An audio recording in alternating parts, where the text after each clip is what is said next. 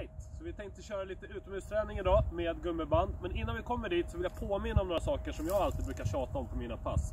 Och det är de här enkla grejerna som till exempel att stå på ett ben när ni borstar tänderna. Eh, för att öva den biten också. Eh, och ta gärna av er skorna inomhus eh, och stärk fötterna så att ni slipper få ont där. Till själva träningen idag då, så tänkte jag köra fyra stycken övningar med gummiband. Så är det skulle vara så att ni inte har något gummiband hemma och inte vet vad ni ska få tag i det, så mejla till eh, Thomas, eh, snabel så ska vi se om vi kan hjälpa till att få fram sådana här. Eh, första övningen idag då. En bänk eller vad som helst, träd eller någonting, borde ni kunna hitta.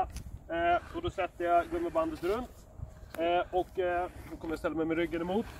Roddar är den första som vi har. Eh, ställ dig stadigt. Lite svung i knäna. Eh, och härifrån nu så drar skulderbladen bakåt hela vägen in och tillbaka ut. Och skulle det vara så att eh, ni tycker att det är lite lätt, som jag kanske har, så kan ni alltid vika bandet dubbelt när ni gör det här. När jag ändå står här sen så kliver jag fram lite granna. Lägger i kors för att jag tycker det är skönt. Står fortfarande parallellt och stadigt. Och härifrån så kör vi blottaren. Hela vägen upp, dit och tillbaka ner. Så ni känner att ni kommer åt på baksidan utav axeln.